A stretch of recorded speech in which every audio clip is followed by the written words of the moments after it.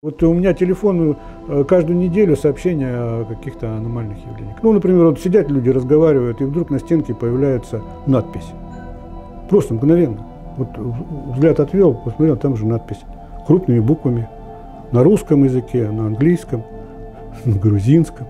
На сегодня такая тема, в которой очень много скептиков и очень много тех, кто верит в аномальные явления.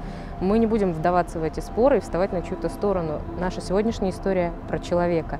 Виктор Николаевич Фефилов – это тот, кто изучает аномальные явления, и он настолько увлечен этой темой, что готов поехать в любую точку страны и в другую страну, чтобы увидеть своими глазами, изучить. Это очень круто. Об этом наша история. Э, губная помада? Да. Это, это полтергейст доставлен да. тоже? Аномальных явлений много в природе. А, но э, я и мои коллеги, мы специализировались на исследовании полтергейстов. Полтергейст, а, ну, говорят, это какой-то там злой дух, прочее. Ну, нет, это явление природы. Ну, так же, как вот, так же, как гроза. Маленький телевизор оказался в холодильнике, стул повис на проводе на лестничной площадке. Сварились в кипятке часы забежавшего поглазеть на диво знакомого. Пропал один зимний ботинок у сына. Сгорел рукав у единственной маминой дубленки. Томские исследования полтергейстов начались в 1985 году. Было. Да, было явление на Каштаке, в двухкомнатной квартире в обычной девятиэтажке по улице Карла Эльмера. А, там каждую ночь э, из-под кровати в спальне вылетали шаровые молнии красно-оранжевого цвета, э, летели в угол спальни и там взрывались. Э, и они в конце концов написали письмо в газету «Красное знамя». Письмо попало мне в руки, я отнес его в политехнический институт, и там ученые молодые из политеха занялись изучением этого явления уже с помощью приборов. Ну, вечером расставили приборы, там все это вылетело, взорвалось, как положено. А, всех оглушило, ослепило. Один человек потерял сознание. Вот. И, э, я тоже слышал этот звук, потому что я в это время из комнаты вышел воды попить на кухню. Пожалуйста, нам покажите сейчас пленочку.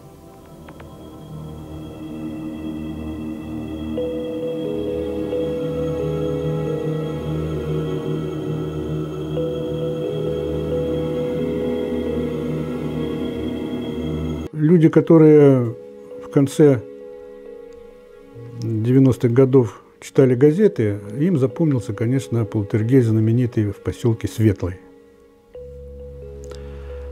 А, он там длился три года.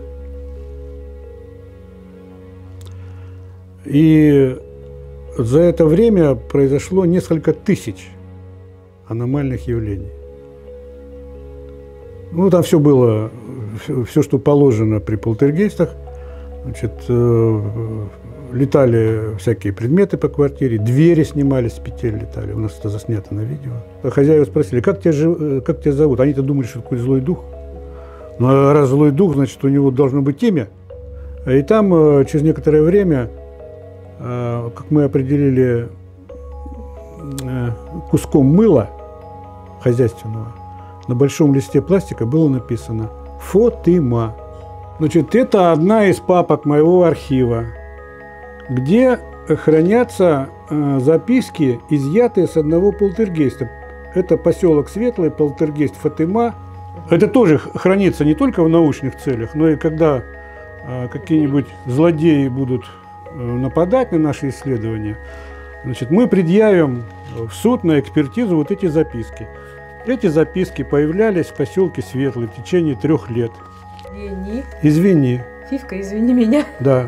Но Фивка он называл конкретно меня. А, это, это перед вами извинялся. Да, перед мной извинялся. Есть явления, которые являются парадоксальными, неожиданными и не вписываются а, в известные нам законы природы, в известные нам, то, что в учебниках написано. Вот эти явления называются аномальными. Есть нормальные явления, а это аномальные. Но аномальность это в нас в голове, потому что мы плохо знаем.